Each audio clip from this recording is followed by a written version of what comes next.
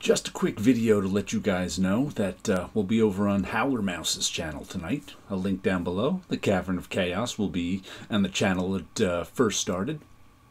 I'm a little under the weather today myself, uh, so we'll see how long I could last. All right, we will see you over there.